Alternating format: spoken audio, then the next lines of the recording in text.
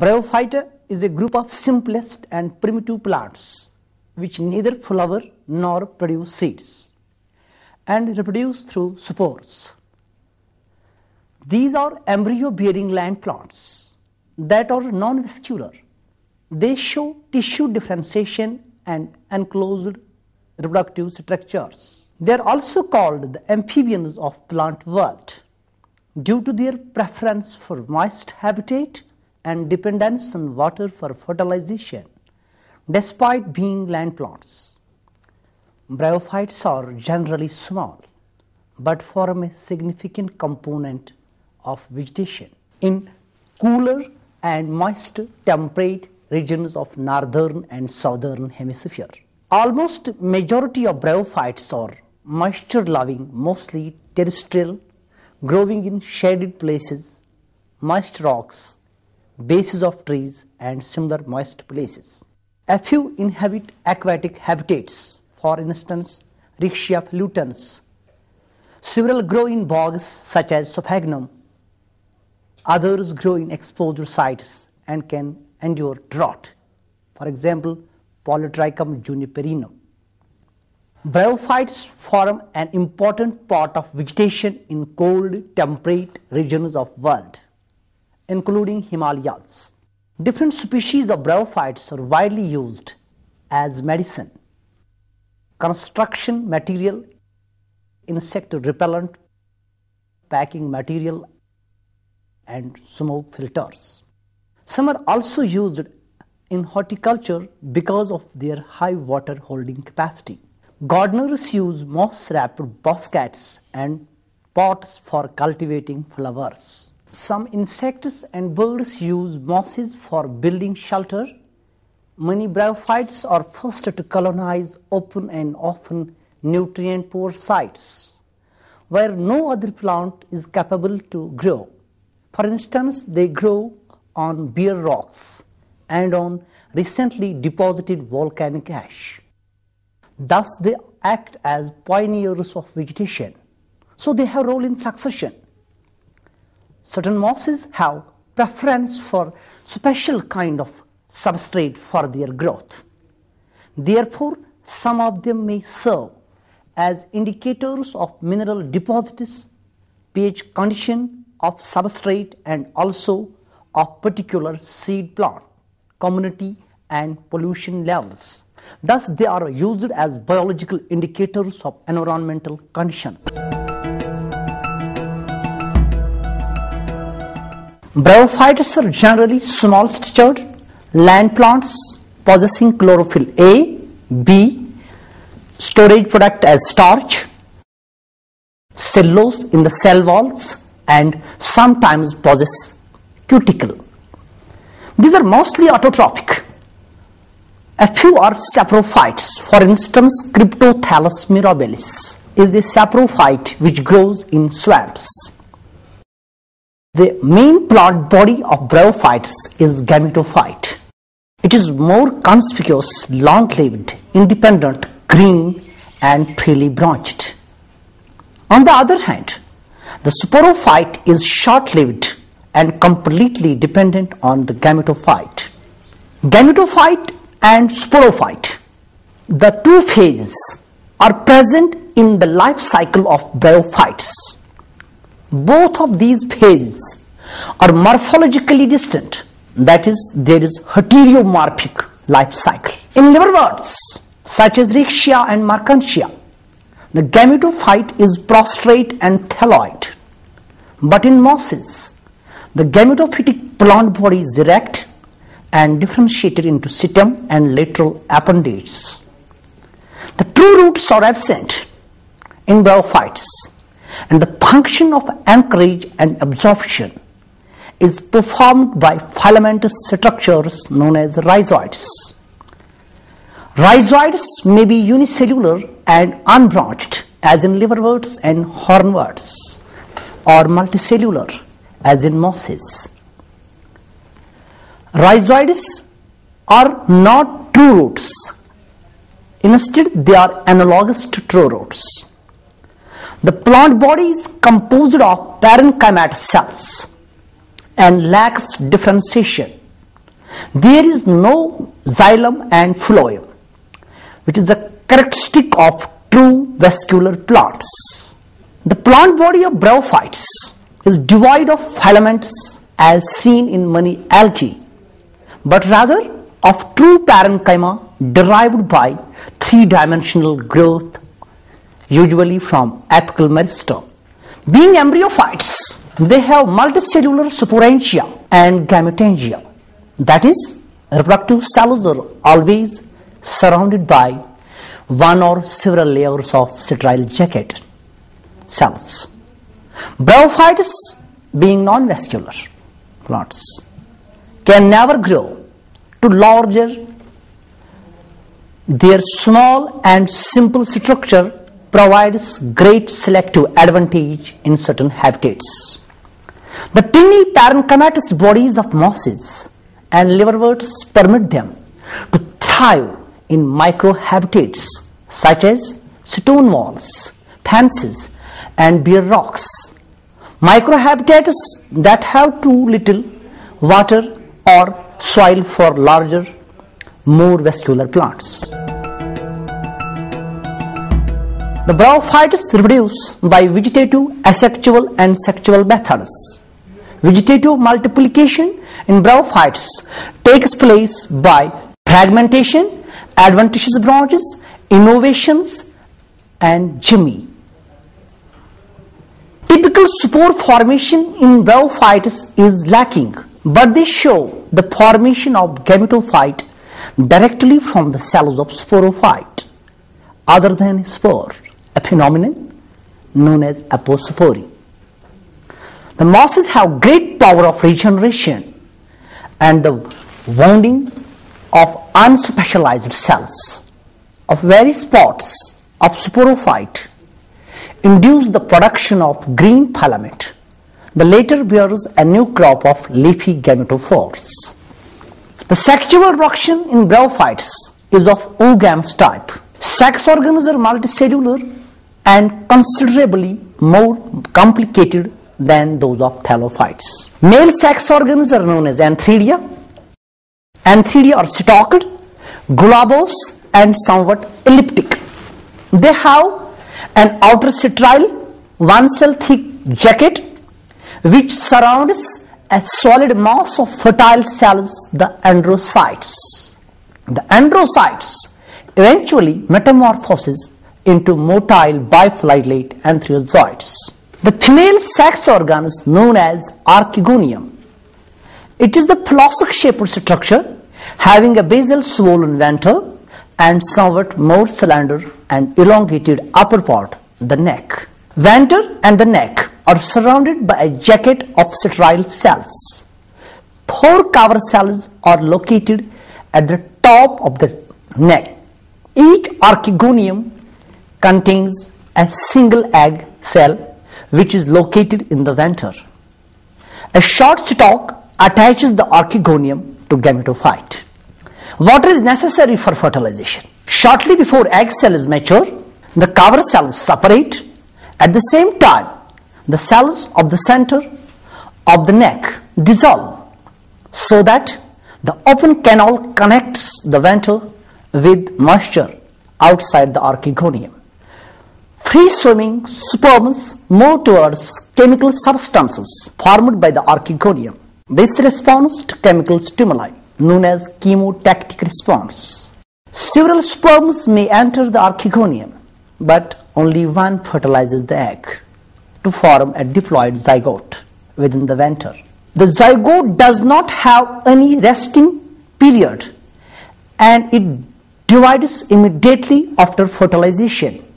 The first division of zygote is always transverse and outer cell gives rise to embryo.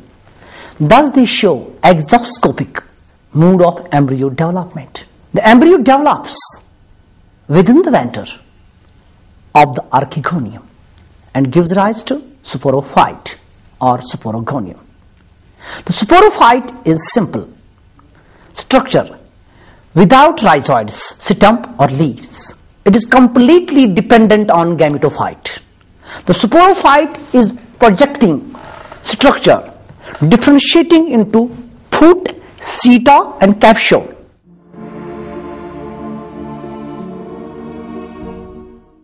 Term bryophyte was first time used by Robert Wren in 1864 who included algae,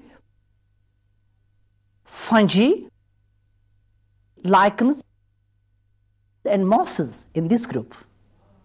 In later system of classification, however, algae, fungi and lichens were placed in the separate division Thallophyta and liverworts and mosses together in Bryophytes. Eichler, way back in 1813, has recognized two classes in division Bryophyta, Hepatica, that is liverworts, and Musci, that is mosses. Takhtajan in 1953 recognized three classes in bryophytes, Hepatica, Anthoceroti, and Musci. Hepatica for liverworts, Anthoceroti for hornworts, and Musci for mosses. Rothmaler in 1957 changed the nomenclature of the classes of the three classes of bryophytes as Hepaticopsida for Hepatica, Anthocerotopsida for Anthoceroti, and Bryopsida for Musci.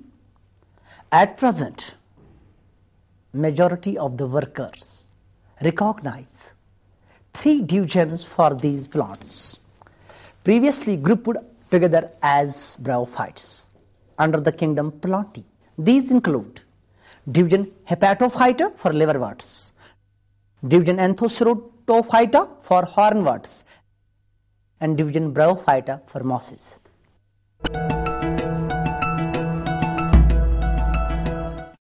The name Hepatophyta has been derived from Latin word hepato, which means liver. Hence, members of this class are commonly known as liverworts. The name liverwort is very old, having been used in the 9th century. It was probably applied to these plants because of their resemblance to liver and the belief that plant resembling human organs would cure diseases of organ they resemble.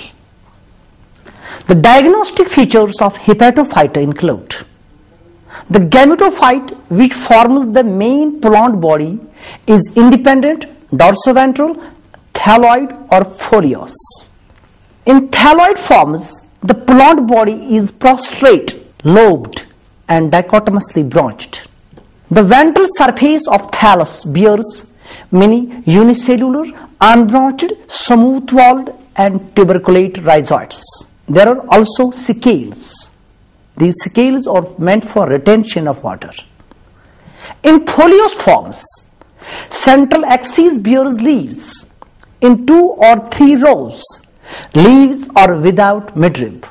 Anatomically, thallus of liverworts is either simple or complex and is devoid of mechanical tissue. Photosynthetic cells contain numerous chloroplasts without pyrenoids.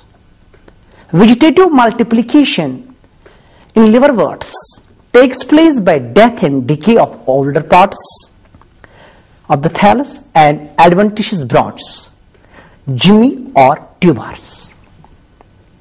The members of hepatophyta are homothallic, monoecious, for example, riccia, or heterothallic, dioecious, for example, Marchantia. The sex organs occupy dorsal or terminal position on the thallus. They develop from single superficial initial. Sporophyte is simple, represented by capsule only as in Riccia or it is differentiated into foot, seta and capsule as in Marchantia. The sporogenous cells called as archisporium develop from the endothecium. The sporogenous tissue either forms only one spore mother cell as in Riccia or becomes differentiated into fertile spore mother cells and sterile elaters. as in Marchantia. The capsule does not have sterile columella. The only sterile cells are elaters. The spores give rise to gametophyte on germination. Now the second group of bryophytes, Anthocerotophyta or hornworts. It is a small group of bryophytes widely distributed in both temperate and tropical regions of world. The diagnostic features of Anthocerotophyta are as gametophyte is flat, dorsoventral, lobed and thalloid. The thallus is attached to the substratum with the help of smooth wall rhizoids. Tuberculate rhizoids and scales are absent. Air spaces or air pores or air chambers are absent. But intracellular mucilage cavities are present which open on ventral surface by slit-like pores. Sex organs are emitted in thallus. Antheridia develop on the dorsal surface from hypodermal cells. They occur singly or in groups in the antheridial chambers. Archegonia develop from dorsal epidermal cells. The sporophyte is differentiated into long cylindrical capsule, small meristematic seta and a bulbous fruit. The capsule wall is 4 to 6 layered and the epidermis has stomata. Elaters do not have thickening bands and are called pseudoelaters. Now the last group, bryophyta or more commonly mosses. The mosses are the largest group of bryophytes which occur in almost all parts of the world. They are abundant at altitudes ranging from 1200 to 2500 meters and some species occur up to 6500 meters.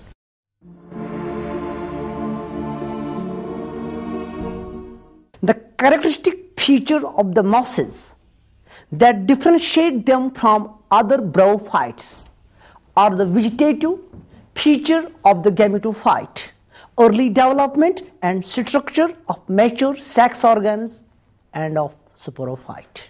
These features are explained here. Number one, the gametophyte has two growth phases or stages.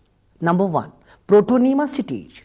It is the juvenile stage, young stage, represented by prostrate, creeping, green and branched filamentous structure. It develops from spore and only at transitory stage in the stage of bryophytic life cycle is represented by protonemal stage. Second, the leafy stage or gametophores. An erect cylindrical shoot with persistent leaves and sex organs.